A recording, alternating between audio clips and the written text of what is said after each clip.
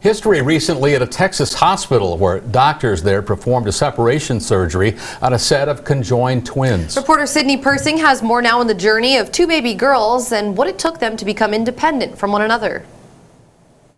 In Cook Children's 105 year history, there's only been one big surgery that separated two small infants. They're pretty much family to me. Wednesday, a panel of six doctors told a few dozen reporters they made history Monday with an 11 hour operation that separated conjoined twins, Amy Lynn and Jamie Lynn, connected from their breastbones to their belly buttons.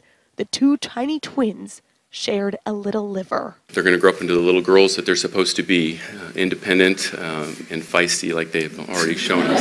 Together, the twins' surgeons and parents laughed and cried and watched a video documenting their terrifying, tremendous journey, which, thank God, got a happy ending. You have two babies on two separate beds. The video finished, and the girls' parents took the stage. Mom gripped her flowers tight took deep breaths.